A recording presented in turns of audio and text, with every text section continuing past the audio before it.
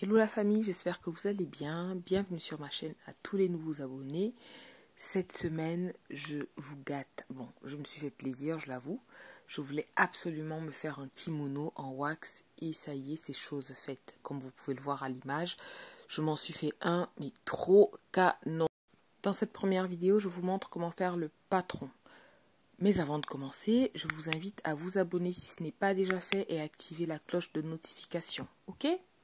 Bon, pour faire votre kimono, très simple mais méthode ultra ultra facile, il vous faudra quelques mesures. Premièrement, il va vous falloir la longueur de votre kimono. C'est-à-dire que vous prenez votre mètre, vous le placez sur la base de votre cou et vous allez le laisser tomber de façon à déterminer la longueur totale que vous voulez. Cette longueur sera ensuite à multiplier par deux. Je vous explique ça plus tard. Mais dans un premier temps, la longueur de votre kimono, la largeur totale de votre kimono, est-ce que vous le voulez très ample, maxi maxi, ou pas? Le, La largeur des bras, c'est-à-dire comment vous voulez que la manche tombe au niveau de votre bras, est-ce que vous voulez un peu près du corps Est-ce que vous voulez un peu d'aisance, beaucoup d'aisance? Bon, voilà. Et euh, une fois que vous avez ces, déterminé ces informations-là, vous avez déjà fait le plus gros. Moi, j'ai ajouté une ceinture. Elle est facultative. J'ai également ajouté des passants qui sont également facultatifs. Mais moi, je pensais que ça donnerait un peu plus de tenue, un peu plus de... Vous voyez à ma tenue. Donc j'ai décidé d'ajouter ça. Je vous montrerai ça dans une autre vidéo. J'ai préféré faire ça en différentes vidéos pour que ce ne soit pas trop trop euh, long. Donc comme vous pouvez le voir à l'écran, ce sont mes mensurations. J'ai décidé d'un mètre cinquante de longueur totale parce que je ne suis pas très grande. Au niveau de la largeur, 134 cm au niveau de, la largeur des bras, donc le tour de ma manche, ça va être 60 cm. L'encolure dos, 3 cm. L'encolure devant, 10 cm. Et sur les côtés, on va ouvrir de 7 cm. Je vais vous montrer ça. Donc voilà, ces, largeurs-là, ces euh, données, pardon, euh, comprennent les marges de couture qui sont ici euh, très minimes, hein, moins d'un centimètre parce que moi j'ai fait tout le tout à la tout l'assemblage à la surjeteuse. Donc franchement, c'est moins d'un centimètre de, de marge de couture. Comme je vous le disais, j'ai ajouté une ceinture, je la voulais quand même assez grande, enfin assez longue. Pour la ceinture, j'ai choisi 2 mètres, donc 200 cm égale 2 mètres de longueur et 5 euh, cm de largeur pour avoir 5 cm de largeur, comme je voulais replier, je voulais pas me prendre la tête, j'ai euh, pris une largeur totale de 11 cm. Donc quand je vais replier, ça va me faire les 5 cm avec euh, une marge, une toute petite marge de couture de, moins d'un centimètre en fait. Donc voilà pour les euh, informations dont j'ai besoin, les mesures dont j'ai besoin pour faire mon, euh, mon kimono avec sa ceinture. Ici, je n'ai pas parlé des passants, je vous le ferai dans une autre vidéo. Ok? Donc, prenez la peine de noter, posez-vous. Euh, et si vous avez des questions, n'hésitez pas à me les poser en commentaire.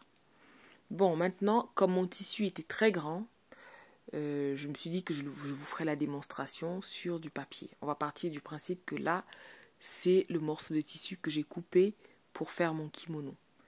Donc ce morceau de tissu, il représente deux fois la longueur totale de mon kimono. Rappelez-vous, la longueur totale de mon kimono, c'était mètre et demi, donc 150 cm. Ça veut dire que ce morceau de tissu est égal à 3 mètres. Vous pouvez également couper deux morceaux de tissu de la longueur que vous voulez. Bon, moi j'ai fait comme ça. C'était plus simple pour moi de faire comme ça avec mon wax parce qu'il était très long. Donc vous pouvez soit couper deux morceaux de la longueur que vous voulez, soit couper euh, un morceau qui mesure deux fois la longueur désirée que vous allez plier en deux, comme je le fais là, dans le sens de la longueur. Jusque-là, je pense que vous me suivez. Pour la largeur, avant de couper, bon, moi sur le wax, j'étais sûre que mes, les dimensions que je voulais pour la largeur serait incluse dans la largeur du wax. Donc je n'ai pas euh, mesuré, mais on ne sait jamais. Si vous le voulez vraiment maxi maxi large, faites attention quand même à vérifier que la largeur que vous voulez est bien comprise dans la largeur initiale du tissu. Je pense que vous me suivez. Alors, donc là, comme je vous disais, j'ai plié mon tissu. Ça fait que là, j'ai mon, mon, ma longueur totale désirée devant et dos. Une fois que j'ai marqué mes pièces, je travaille évidemment sur l'envers là. On va partir du principe que je travaille sur l'envers. Je viens replier une deuxième fois euh, là sur le côté largeur. Donc là au niveau de la largeur, je viens plier comme ça et ça va faire que j'aurai un pli euh, du côté gauche et euh, quatre épaisseurs du côté droit. Voilà, je vous remontre. Vous voyez ce que ça donne. Et comme je vous disais, vous pouvez euh, avoir, vous pouvez décider de, couper pardon, votre tissu au niveau de la longueur. Comme ça, vous avez directement le dos et le devant déjà coupés. C'est facultatif. Ou alors, vous pouvez décider de laisser comme ça et de ne pas faire de couture au niveau des épaules. Moi, je voulais faire une couture au niveau des épaules. C'est pour ça que j'ai décidé de le couper. Bon, vous faites au plus simple. Hein. On n'est pas là pour se prendre la tête. Donc si vous ne coupez pas, ça veut dire que vous ne faites pas de, couture au niveau de vos épaules. Ce qui est tout à fait possible. Alors là, je vais m'occuper de la largeur de mon kimono. Comme je vous ai dit, je ne le voulais pas très large. Je suis assez euh, menu. Donc j'ai choisi 134 pardon, cm de largeur totale et là, comme je travaille sur 4 épaisseurs de tissu, je dois diviser mes 134 cm par 4. Donc là, euh, c'est le. Comment dire C'est en miniature. Hein, donc ce ne sont pas les valeurs réelles. Euh, les 134 divisé par 4, ça faisait, euh, je crois, 37,5. Non, 33,5 Bon, ok, je me suis trompée. Donc ça faisait cette valeur-là, 33,5 que j'ai marqué là. Au niveau de la largeur de mes bras, j'avais choisi 60 cm. Ces 60 cm euh, correspondent au dos et au devant. Donc je vais les diviser par 2. Ce qui me fait 30 cm. Surtout pas par 4, hein. c'est par 2. Donc je trace mes 30 euh, cm là comme ça, en descendant. Et là, je vais faire monter le, la ligne de la largeur, la ligne du bas à 33 cm et demi, je vais la faire monter jusqu'à ce qu'elle rencontre euh, les 30 cm de, la ligne de manche. Voilà, je vais les faire monter comme ça, de façon à ce qu'elles se croisent. Vous pouvez même prolonger et tracer l'autre comme ça, vous aurez le vous aurez, vous aurez pardon l'angle qui va se former tout seul au niveau du croisement des deux lignes. Une fois que vous avez ça, c'est parfait. Maintenant, on vient faire un petit arrondi à main levée comme ça au niveau des, euh, des emmanchures. Et là, je vous montre pour l'encolure, je vais la descendre de 3 cm dans le dos et de 10 cm en tout au niveau du devant. Et au niveau des côtés, je fais à 7 cm. Donc là, je vais couper premièrement euh, l'encolure les 3 cm dans le dos parce qu'elle est plus petite. Donc forcément, je pourrais venir prolonger un peu celle du devant. Donc si je coupe d'abord celle du devant, je ne pourrai plus, je ne pourrai pas rattraper le dos. D'accord J'espère que vous comprenez. Une fois que j'ai fait ça, je viens couper mon kimono comme ça et vous voyez, la forme y est déjà. La forme y est déjà. Donc le kimono est quasiment prêt quoi. Et là, je viens ouvrir et je vais récupérer ma pièce de devant. Je vais venir tracer l'encolure et l'ouvrir un peu plus jusqu'à 10 cm comme désiré. Après vous, vous pouvez l'ouvrir d'un peu plus, un peu moins, enfin bref. Mais bon, il vaut mieux un peu plus quand même parce que la base de, la nuque est plus haute que la base du cou devant. Donc les 10 cm, vous allez voir euh, au niveau de mon kimono, c'est vraiment ras le cou. Hein. Donc comme j'avais déjà ouvert de 3 cm, là je complète avec 7 cm et je fais une ouverture un peu euh, euh, en forme V quoi. pas arrondi. Après, vous pouvez faire la forme arrondie si vous voulez. Franchement, on fait comme on veut. Et là, je viens, hop, un dernier coup de ciseau. Je viens ouvrir le milieu devant. Et oui, parce qu'il faudra bien l'enfiler d'une certaine façon, ce kimono. J'ouvre mon devant au niveau du milieu et j'ai mes pièces de kimono qui sont prêtes. Donc là, je vais juste passer à l'assemblage. L'assemblage, ça va être hyper facile.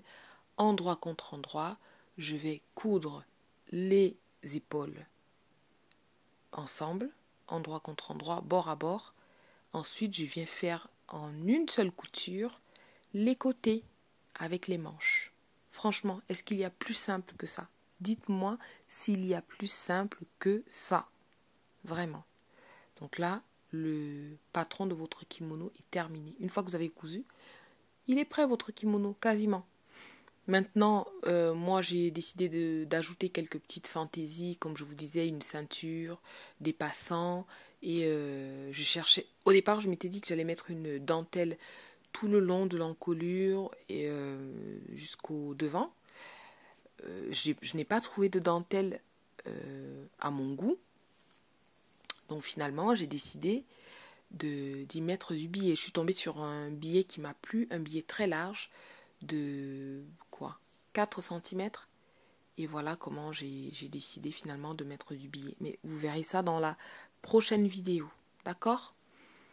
Là, je vous montre la ceinture, comment je la trace. Je vous ai dit, euh, c'est une seule bande de tissu qui fait 11 cm de large et 2 mètres de longueur. 11 cm de largeur et 2 mètres de longueur. Parce que moi, la ceinture, je la voulais quand même assez longue pour pouvoir faire des nœuds et tout ça. Après, vous vous prenez les dimensions que vous voulez en fonction de votre morphologie et tout ça. Et, euh, voilà quoi.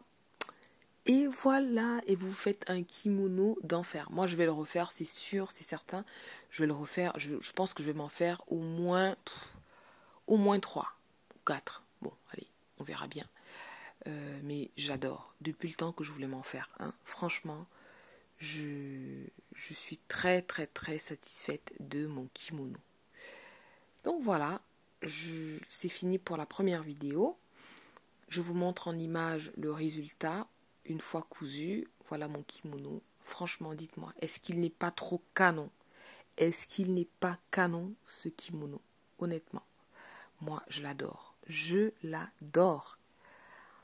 Voilà, bon, c'est fini pour aujourd'hui. Euh, je vous dis à bientôt pour de nouveaux tutoriels.